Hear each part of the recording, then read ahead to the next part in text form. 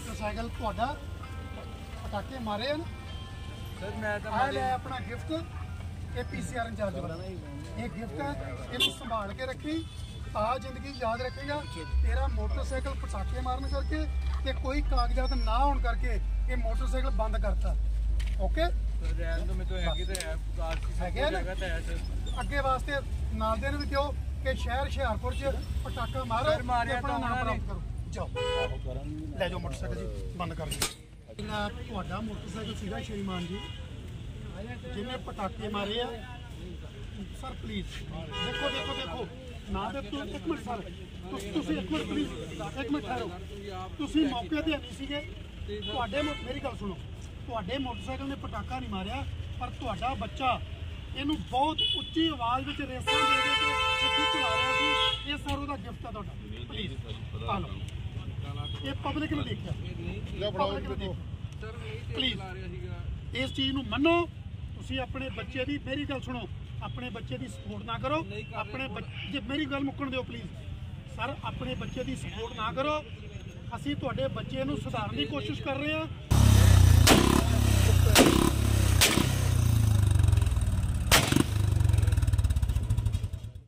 ਅਸੀਂ ਇਸ ਟਾਈਮ ਜਿਹੜੀ ਹੁਸ਼ਿਆਰਪੁਰ ਦੀ ਫੂਡ ਸਟਰੀਟ ਹੈ ਜੋ ਹੁਸ਼ਿਆਰਪੁਰ ਦਾ ਬਹੁਤ ਇਸ ਟਾਈਮ ਰਸ਼ ਵਾਲਾ ਏਰੀਆ ਹੁੰਦਾ ਜਿੱਥੇ ਖਾਣ ਪੀਣ ਵਾਸਤੇ ਪਬਲਿਕ ਦੇ ਬਹੁਤ ਵਧੀਆ ਪੁਖਤਾ ਪ੍ਰਬੰਧ ਹੈ ਤੇ ਹਰ ਤਰ੍ਹਾਂ ਦੇ ਲੋਕ ਜਿਹੜੇ ਇੱਥੇ ਖਾਣ ਪੀਣ ਵਾਸਤੇ ਆਉਂਦੇ ਆ। ਇੱਥੇ ਮਾਨਯੋਗ ਐਸਐਸਪੀ ਸ਼੍ਰੀ ਸੁਰਿੰਦਰ ਲਾਂਬਾ ਜੀ ਆਈਪੀਐਸ ਹੁਸ਼ਿਆਰਪੁਰ ਜੀ ਨੇ ਸਿਕਿਉਰਿਟੀ ਦੇ ਬਹੁਤ ਸਖਤ ਪ੍ਰਬੰਧ ਕੀਤੇ ਆ, ਕਿਉਂਕਿ ਇੱਥੇ ਹਰ ਤਰ੍ਹਾਂ ਦਾ ਵਿਅਕਤੀ ਜਿਹੜਾ ਆਉਂਦਾ ਰਸ਼ ਜ਼ਿਆਦਾ ਹੋਣ ਕਰਕੇ ਕੁਝ ਵਿਅਕਤੀ ਜਿਹੜੇ ਆ, ਇੱਥੇ ਆ ਕੇ ਹੁੱਲੜਬਾਜੀ ਕਰਦੇ ਆ, ਮੋਟਰਸਾਈਕਲਾਂ ਦੇ ਪਟਾਕੇ ਮਾਰਦੇ ਆ ਜਾਂ ਉੱਚੀ ਆਵਾਜ਼ ਦੇ ਕੇ ਨਕਲੀ ਸਲੈਂਸਰ ਲਾ ਕੇ ਉਹ ਆਵਾਜ਼ ਦੇ ਕੇ ਤੇ ਜਿਹੜਾ ਮਾਹੌਲ ਸ਼ਹਿਰ ਦਾ ਇਸ ਮਾਰਕੀਟ ਦਾ ਜਿਹੜਾ ਮਾਹੌਲ ਹੈ ਖਰਾਬ ਕਰਦੇ ਆ। ਇੱਥੇ ਅਸੀਂ ਪਹਿਲਾਂ ਵੀ ਕਈ ਲੋਕਾਂ ਦੇ ਜਿਹੜੇ ਆ ਚਲਾਨ ਕਰ ਚੁੱਕੇ ਆ। ਅੱਜ ਵੀ ਦੋ ਮੋਟਰਸਾਈਕਲ ਸੀ ਜਿਹੜੇ ਜਿਹੜੇ ਉਹ ਬਾਰ-ਬਾਰ ਰਾਊਂਡ ਲਾ ਰਹੇ ਸੀਗੇ। ਇੱਕ ਮੋਟਰਸਾਈਕਲ ਪਟਾਕੇ ਮਾਰ ਰਿਹਾ ਸੀਗਾ ਤੇ ਦੂਸਰਾ ਮੋਟਰਸਾਈਕਲ ਉਹਦੇ ਜਿਹੜਾ ਮਗਰ ਸੀਗਾ ਉਹ ਉੱਚੀ ਰੇਸਾਂ ਉੱਚੀ ਅ, ਰੇਤ ਤੇਜ਼ ਰੇਸਾਂ ਦੇ ਕੇ ਆਵਾਜ਼ ਕਰ ਰਿਹਾ ਸੀ ਤੇ ਜਿਨੇ ਮੈਨੂੰ ਪਬਲਿਕ ਦੇ ਜਿਹੜੇ ਲੋਕ ਆ ਉਹਨਾਂ ਨੇ ਫੋਨ ਕੀਤਾ ਕਿ ਸਰ, ਇਹ ਜਿਹੜੇ ਮੋਟਰਸਾਈਕਲ ਆ, ਉਹ ਘੇਰ ਲਿਆ। ਪਲੀਜ਼ ਤੁਸੀਂ ਆ ਜਾਓ। ਮੈਂ ਤੁਰੰਤ ਉਸ ਟਾਈਮ ਤੇ ਬ- ਬੱਸ ਸਟੈਂਡ ਹੁਸ਼ਿਆਰਪੁਰ ਤੇ ਚੈਕਿੰਗ ਕਰ ਰਿਹਾ ਸੀਗਾ, ਆਪਣੀ ਟੀਮ ਦੇ ਨਾਲ। ਮੈਂ ਤੁਰੰਤ ਗੱਡੀ ਭਜਾਈ, ਆਪਣੀ ਟੀਮ ਨਾਲ ਇੱਥੇ ਆ ਗਿਆ। ਇੱਥੇ ਆ ਕੇ ਜਦੋਂ ਮੋਟਰਸਾਈਕਲ ਚੈੱਕ ਕੀਤੇ, ਵਾਕਈ ਉਹ ਮੋਟਰਸਾਈਕਲ ਪਟਾਕੇ ਮਾਰਦਾ ਸੀ, ਜਿਹੜਾ ਦੂਸਰਾ ਮੋਟਰਸਾਈਕਲ ਹੈ, ਉਹ, ਉਹਦਾ ਸਲੈਂਸਰ ਜਿਹੜਾ ਬਹੁਤ ਜ਼ਿਆਦਾ ਆਵਾਜ਼ ਕਰਦਾ ਸੀ। ਇੱਕ ਜਿਹੜਾ ਪਟਾਕੇ ਵਾਲਾ ਮੋਟਰਸਾਈਕਲ ਹੈ, ਉਹਦਾ ਅਸੀਂ ਠੋਕ ਕੇ ਚਲਾਨ ਕੀਤਾ ਤੇ ਮੋਟਰਸਾਈਕਲ ਜਿਹੜਾ ਉਹ ਬੰਦ ਕਰ ਦਿੱਤਾ। ਜਿਹੜਾ ਦੂਸਰਾ ਮੋਟਰਸਾਈਕਲ ਹੈ ਉਹਦਾ ਮੋਟਰ ਵਹੀਕਲ ਐਕਟ ਤਹਿਤ ਆਪਾਂ ਜੋ ਠੋਕ ਕੇ ਚਲਾਨ ਬਣਦਾ ਸੀ ਉਹ ਕੀਤਾ ਜੀ। ਆਪਾਂ ਹੁਣ ਵੀ ਮੌਕੇ ਤੇ ਵੇਖਿਆ ਲੋਕ ਗਲਤੀ ਮੰਨਣ ਦੀ ਬਜਾਏ ਜਿਹੜੇ ਜਾਂ ਤਾਂ ਆਰਗੂਮੈਂਟਸ ਕਰਦੇ ਨੇ ਜਾਂ ਫਿਰ ਸਿਫਾਰਿਸ਼ਾਂ ਬਹੁਤ ਪਾਉਂਦੇ ਨੇ ਜੀ ਫੋਨ ਸਾਰੇ ਬਾਰ-ਬਾਰ ਮੈਨੂੰ ਫੋਨ ਕਰਾ ਰਹੇ ਸੀ ਕਦੇ ਕਿਸੇ ਨਾਲ ਗੱਲ ਕਰੋ ਕਦੇ ਕਿਸੇ ਨਾਲ ਗੱਲ ਕਰੋ।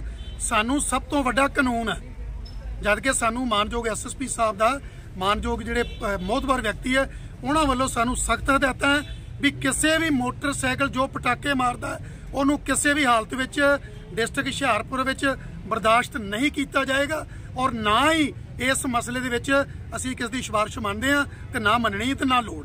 ਸਵਾਦ ਜੀ ਕਿਤੇ ਨਾ ਕਿਤੇ ਮਾਪੇ ਵੀ ਤਾਂ ਕਸੂਰਵਾਰ ਨੇ ਕਿਉਂਕਿ ਅਕਸਰ ਜਿਹੜੇ ਬੱਚੇ ਆ ਮੋਟਰਸਾਈਕਲ ਤਾਂ ਘਰੋਂ ਹੀ ਲੈ ਕੇ ਨਿਕਲਦੇ ਨੇ ਬਿਲਕੁਲ ਬਿਲਕੁਲ। ਤੁਸੀਂ ਇਸ ਗੱਲ ਨੂੰ ਬਹੁਤ ਵਧੀਆ ਸਵਾਲ ਕੀਤਾ। ਹੁਣ ਮੋਟਰਸਾਈਕਲ ਉਹ ਬੜੇ ਜ਼ੋਰ ਨਾਲ ਸ਼ੋਰ ਕਰ ਰਿਹਾ ਸੀਗਾ। ਪੇਰੈਂਟਸ ਕਹਿ ਰਹੇ ਨਹੀਂ ਕਰ ਰਿਹਾ। ਜਦ ਕਿ ਪਬਲਿਕ ਨੇ ਦੇਖਿਆ ਮੈਂ ਖੁਦ ਉਸ ਮੋਟਰਸਾਈਕਲ ਨੂੰ ਸਟਾਰਟ ਕਰਕੇ ਦੇਖਿਆ।